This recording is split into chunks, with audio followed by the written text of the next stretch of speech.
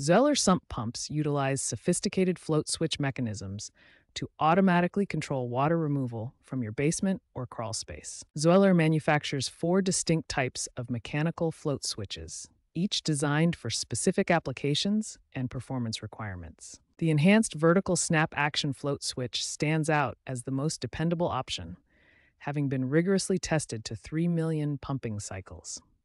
The float switch mechanism controls the pump's activation and deactivation levels.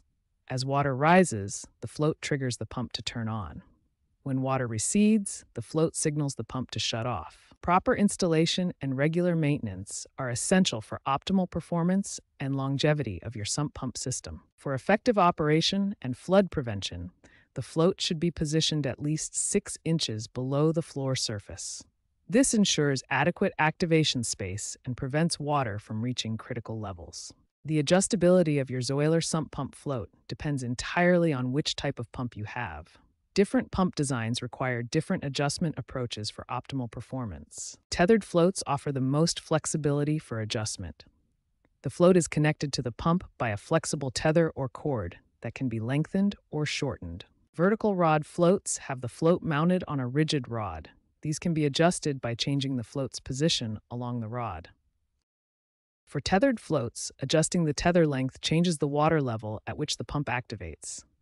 A longer tether means water must rise higher before the pump turns on. With a shorter tether, the pump activates at a lower water level, providing earlier protection against flooding. A longer tether delays pump activation until water reaches a higher level. This reduces pump cycling but allows more water accumulation.